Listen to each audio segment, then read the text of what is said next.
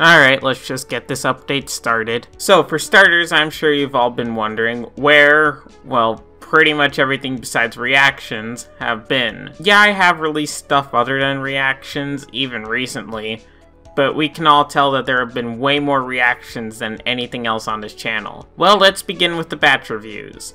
They're supposed to be out every Wednesday, but obviously that hasn't been happening. I'd like to say I have an excuse for this, but yeah, I really don't. It's actually just laziness. Gmod videos are done whenever they're finished. There might be one tomorrow, or there might be one in a month. They're some of the most fun to make, so I'm not going to ruin that by trying to stick to a strict schedule. Live streams. Ugh, live streams. It's not like I have a lack of things to play on stream, but sometimes I look back at my live streams and think, wow, I'm really not funny. And I can never tell if that's true or not. And people don't seem to be willing to tell me whether that's true or not either. Look, if you don't think I'm funny or think my streams are boring, let me know, I guess. Or if you don't think that, tell me what you like about them.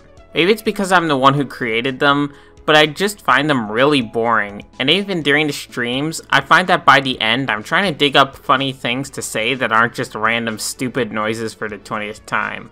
If I want to not be funny and just make random noises, I would go ask Lance for advice. Seriously though, there's all of that, and usually by the time I normally do live streams, I'm just so drained. I never want to anymore. Now then, I mentioned in the previous update how I wanted to change my content to be more than just SML related content. Ha ha! And yet you haven't made much in the way of non-SML content.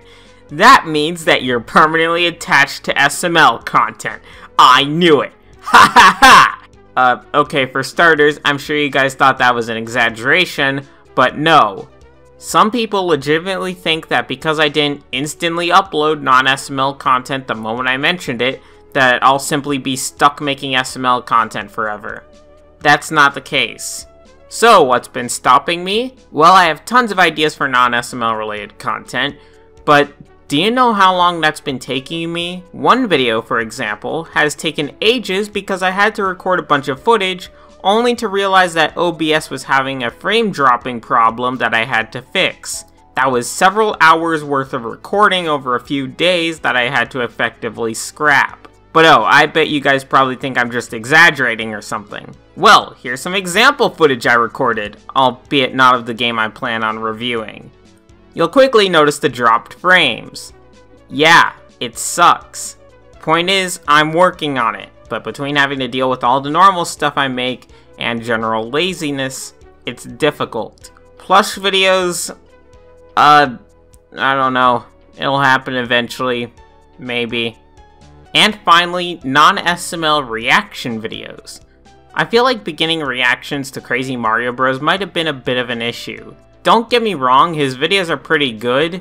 No, the problem is the fact that now this has given everyone the impression that I'm going to not only start doing more non-SML reactions, which I didn't really want to do in the first place, since I don't want to be a reaction channel, but that they're going to revolve around plush videos. Yeah, no, I'm, I'm not doing that. I barely react to other content creators as is. I do not want to be reacting to a bunch of other plush tubers.